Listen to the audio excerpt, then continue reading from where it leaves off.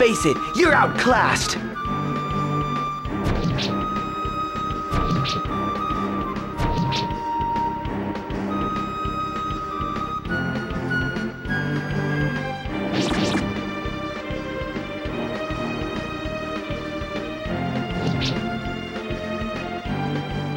Impossible.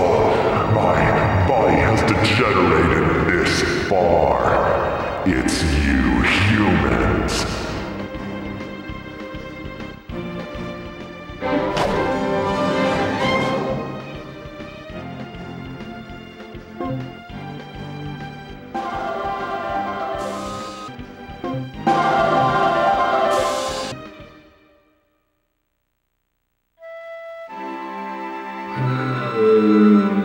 Arietta, we did it! Jeeves is no more!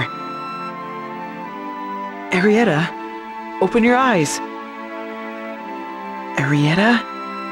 Wayne, she's. She's. She's become so cold. Wake up, Arietta! We defeated Jeeves! You have to wake up!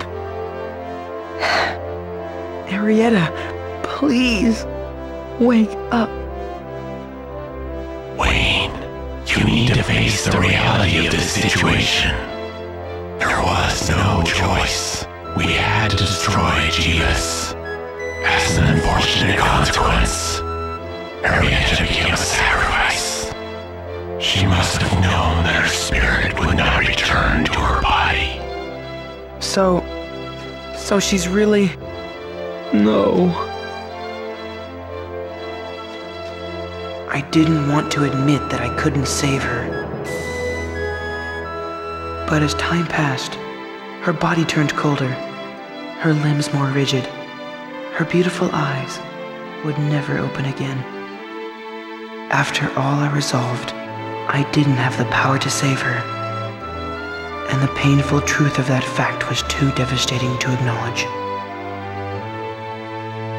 Consoled by my companions, I was able to accept the tragedy of Arietta's death, and we buried her with a solemn service at the base of the control tower. While levitating, the tower had been moved by prevailing winds or some other force. It had landed in a different place from where it left, and it was now in Bernstein Kingdom. Coincidentally, next to the grasslands where I first met Arietta.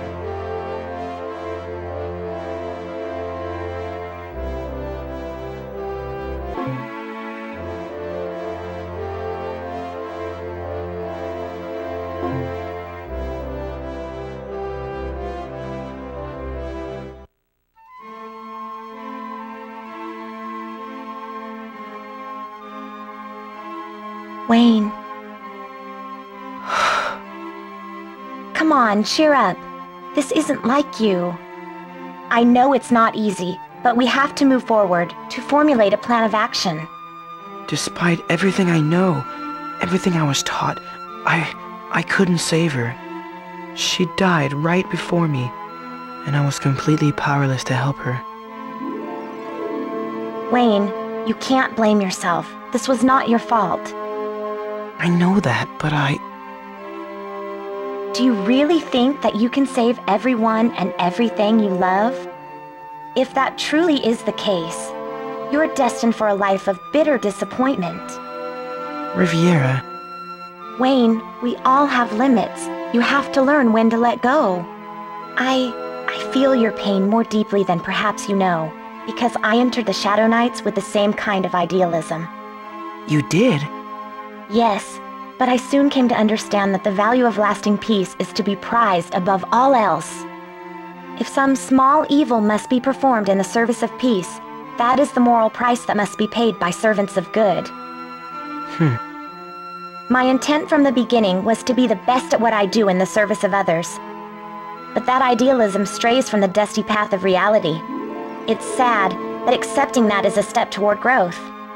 You can't blame yourself for this unfortunate footnote in the service of peace. Trust me, I know. Because you carry the same burdens? Right, and I'm telling you, as a friend, let it go or it will consume you.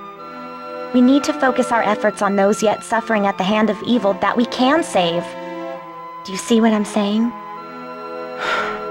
I suppose you're right. Thank you, Riviera. Wayne, your friends are worried about your state of mind. You should go to them and let them know you're all right. I shall.